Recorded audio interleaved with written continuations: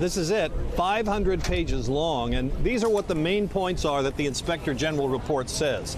It says there was no indication of political bias influencing the major decisions made by the FBI in terms of investigating or prosecuting in the Hillary Clinton email investigation. But it says some text messages, as you just noted, by a few FBI employees cast a cloud over one part of the investigation and overall over the FBI's reputation. I'll come back to that in just a second.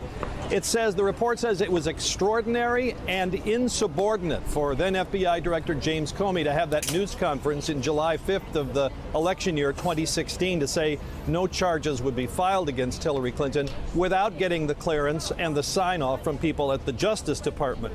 It says Attorney General Loretta Lynch's decision not to cut short her tarmac discussion with former President Clinton was an error in judgment, though the IG says no evidence was found that the two of them actually talked about the email investigation.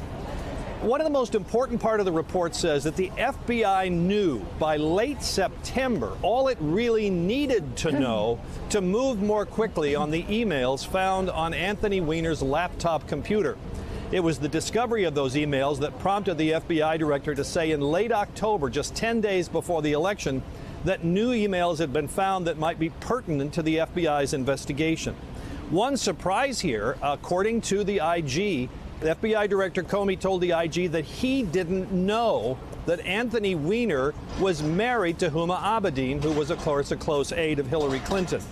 It says Comey made a serious error of judgment in his decision to tell Congress in late October about the discovery of these emails. Now, back to this issue of the text. During the investigation, the IG discovered a large number of texts between two FBI officials, Peter Strzok and Lisa Page. Strzok, who played a, a senior role in the Clinton email investigation. We knew from a previous disclosure that on August 6th, now remember, this is about a month and a half before the Weiner emails are discovered, she texted to him, in essence, Trump, he's, Trump's not ever going to become president, right? Right? And what we learn now is that Strzok responded as follows No, no, he's not. We'll stop it.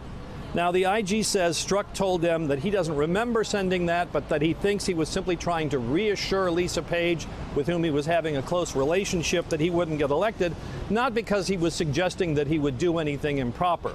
And this is a subtle little point in this 500 page report.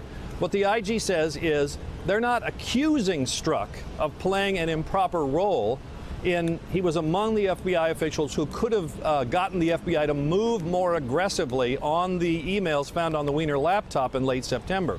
They're not accusing him of having a improper political motive in not goosing that along and moving it faster, but they say they can't rule it out. So they're not accusing him of bias, they just say they can't rule it out.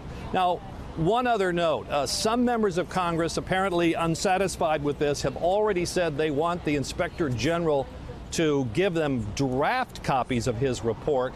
But as we understand it, uh, the, the Justice Department has never before shared with Congress the draft of an IG report, Katy. Hey there, I'm Chris Hayes from MSNBC. Thanks for watching MSNBC on YouTube. If you want to keep up to date with the videos we're putting out, you can click subscribe just below me or click over on this list to see lots of other great videos.